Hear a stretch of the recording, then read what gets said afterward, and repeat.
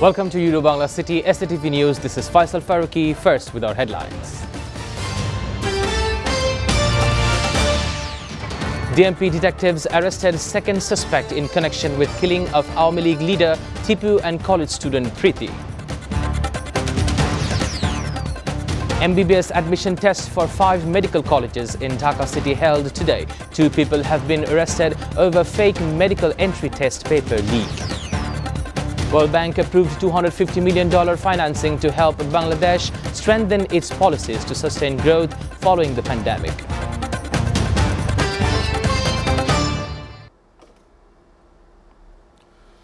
Dhaka Metropolitan Police detectives have arrested a second suspect named Arfanullah Damal in connection with the killing of Awami League leader Jahidul Islam Tipu and college student Samia Afrin Preeti in Shahjahanpur. Following a tip-off, a team of DB Motijheel Division conducted a drive in the city's Kamalapur area on Thursday night and arrested Arfanullah.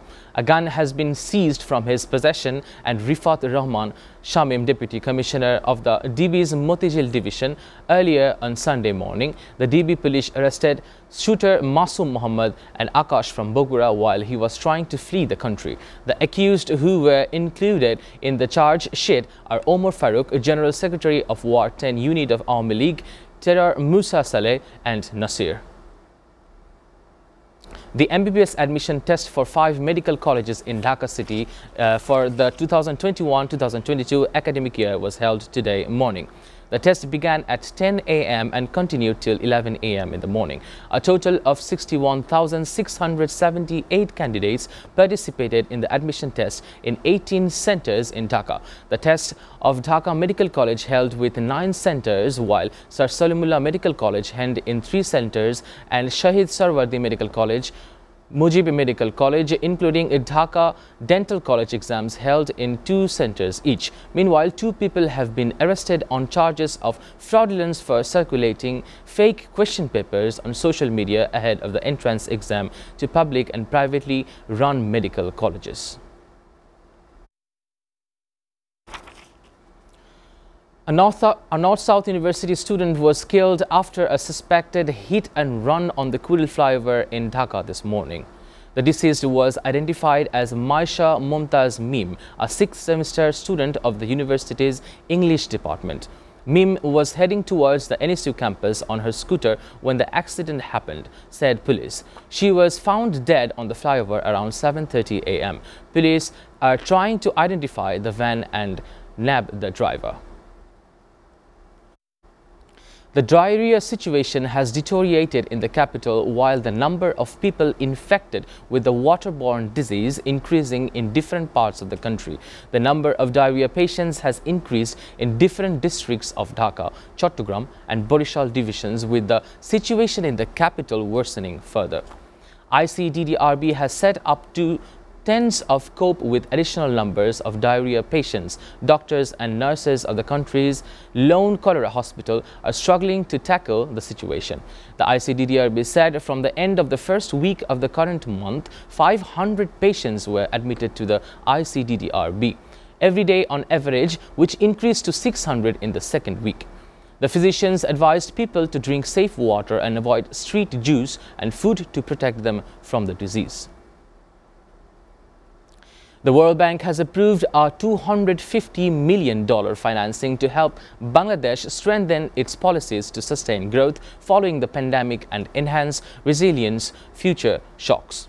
The Bangladesh First Recovery and Resilience Department policy credit supports fiscal and financial sectors policies to enhance macroeconomic stability and sustain growth. The World Bank said in a release, the actions will help Bangladesh to build resilience against future shocks, including climate change. New legislations will be prepared, strengthening the stability and efficiency of payment and settlement systems, which will also further digital and mobile financing services. The credit is from the World Bank's International Development Association, IDA, which provides concessional financing has a 30-year term, including a five-year grace period.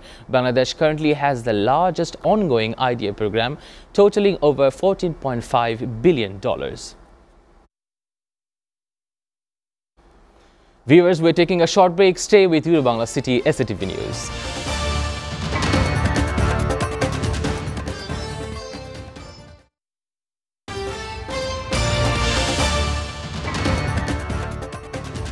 Welcome back and you're watching Eurobangla City SATV News. Pakistan's Information Minister Fawad Chaudhry said a plot to assassinate Prime Minister Imran Khan had been reported by security agencies. Earlier this week, PTI leader Faisal Vawda had made similar claims, stating that a conspiracy was being hatched to assassinate the Prime Minister over his refusal to sell the country. Vawda had made the remarks on media in response to a question about a letter PM Imran brandished uh, PTI's March to 27 power show in Islamabad, claiming it contained evidence of a foreign conspiracy to topple his government.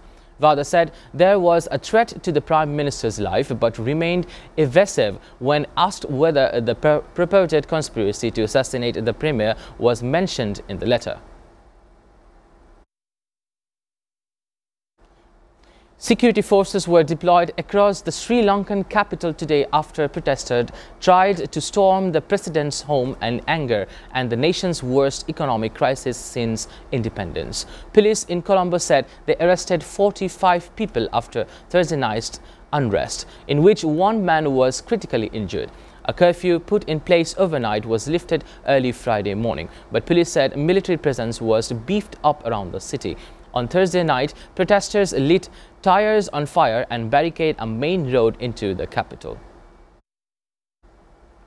The White House has announced the largest release of the U.S. agency oil reserve, calling on oil companies to pump more to bring down gas prices that have skyrocketed even more following Russia's invasion of Ukraine.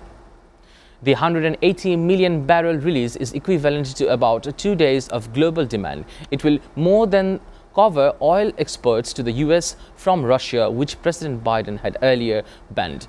Following Biden's announcement, the price of the U.S. benchmark West Texas Intermediate slid more than 7% a barrel, while Brent crude fell some 4.5%. Russian President Vladimir Putin says his country will halt its gas exports to European buyers unless they make payment in rubles. However, the demands were swiftly rejected.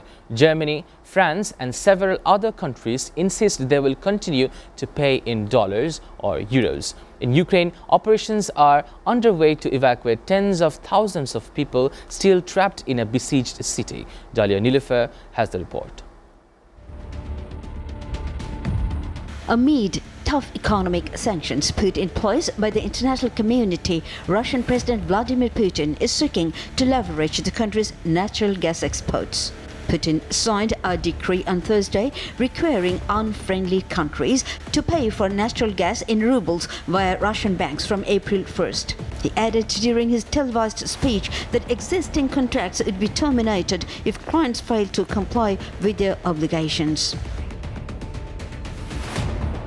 German Chancellor Olaf Scholz meantime said he expects his country to be able to pay for Russian gas according to prior agreements, a reaction echoed by other countries like France, Britain and the Czech Republic.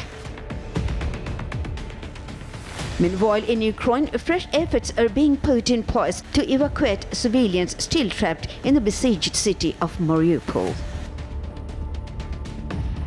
Ukrainian Deputy Prime Minister Irina Vereshchuk said a convoy of 45 buses is headed to the city as Russia agreed to open a humanitarian corridor to Mariupol, where tens of thousands of civilians are still trapped. The operation is facing difficulties, however, as Russian troops blocked the convoy at a checkpoint. Besides, NATO chief Jens Stoltenberg said Russia continues to maintain pressure on Kiev and other cities. He added that additional offensive action is expected which could bring even more suffering. Dalia Nilofer, SATV News Desk. Now, sports. Pakistan won the match needed to stay in the series against Australia. Pakistan defeated Australia by six wickets in the second ODI of the three-match series. Australia won the toss and elected to bat first at the Gaddafi Stadium in Lahore. They managed to score a massive 348 runs. Pakistan got off to a good start in chasing the big score. Imam ul Haq and Fakhar Zaman scored 118 runs in the first wicket. Qatar World Cup draw is to held today. The draw of the most popular event of world football will be held at 10 p.m. Bangladesh time at Doha Exhibition and Convention Center in Qatar. The football world will be in full swing at the end of the year in the thrill of the World Cup. Qatar will have a battle of supremacy in November, December this year. The World Cup will be held for the first time in winter. The 32 participating teams will be placed in four pots based on the FIFA rankings. The top seven teams will be kept with the host Qatar. The other three pots will play with them in the same group. It will also ensure that no more than two countries on the same continent fall into the same group. The World Cup will kick off on November 21 at Al Khor's Al Bayt Stadium. The final will be played on December 16 at Lusail Stadium. Before ending, we go through Eurobangla City SATV headlines again. DMP detectives arrested second suspect in connection with the killing of Awami League leader Tipu and college student Priti.